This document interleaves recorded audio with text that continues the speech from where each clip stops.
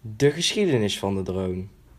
De eerste drone is in 1849 uitgevonden door Oostenrijk. Dit waren eigenlijk ballonnen die ze boven Italië lieten hangen en tot ontploffing brachten, en er dus bommen naar beneden vielen. Maar dit mislukte. Dit waren een soort van vliegende bommen. De eerste drone werd pas echt voor het eerst getekend in 1884 door Nikola Tesla. Deze drone vloog pas in 1916 en was dus ook de eerste drone die kon vliegen. Deze werd ook gebruikt in de Tweede Wereldoorlog. Het Amerikaanse Defensie-instituut DARPA omarmde het dronesconcept in 1992. Nieuwsprogramma's vliegen er nu ook mee rond om unieke beelden te schieten. We hebben ook nog een specialist over drones geïnterviewd. Hij werkt in Van Toemen, de modelbouwwinkel in Den Bosch. Hij weet erg veel van drones en quadcopters. En hij wilde ons hier iets over uitleggen, alleen wilde hij liever niet op beeld komen. Wat kun je allemaal met een drone?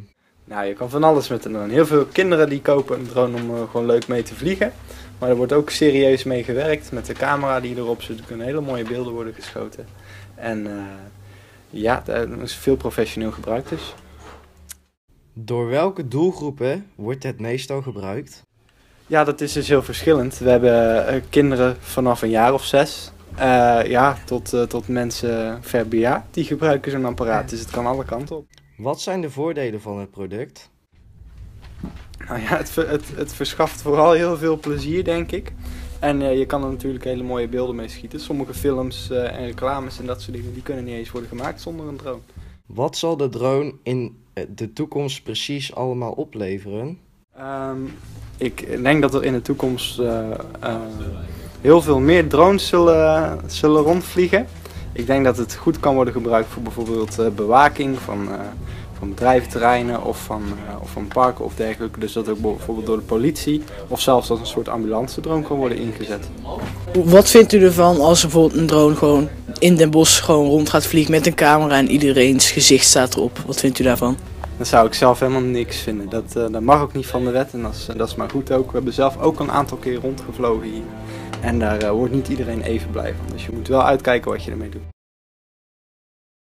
Als we praten over drones, dan hebben we het niet zo snel over een op afstand bestuurbare helikopter of een onbemand vliegtuig van het leger.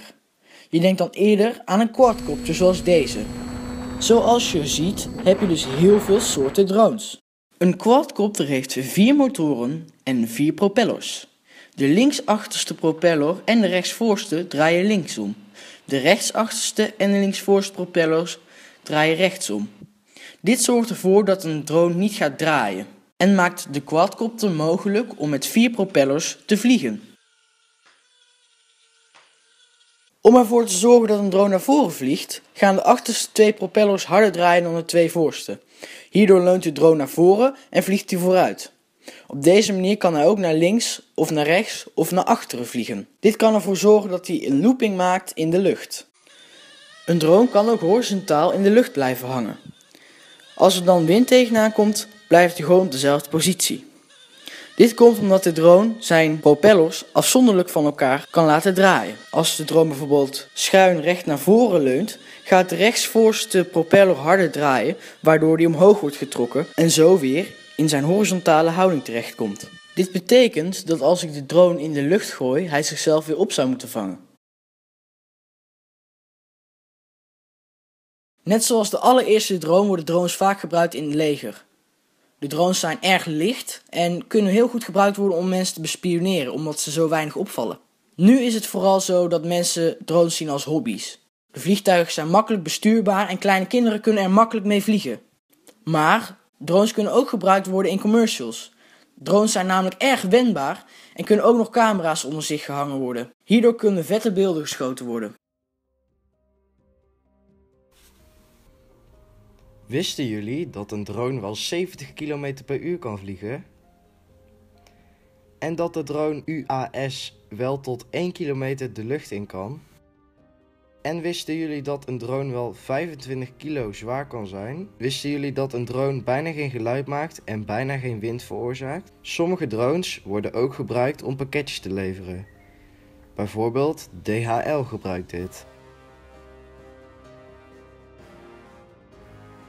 En wist je dat de grootste drone ooit een spanwijdte van 40 meter heeft en weegt meer dan 14 ton?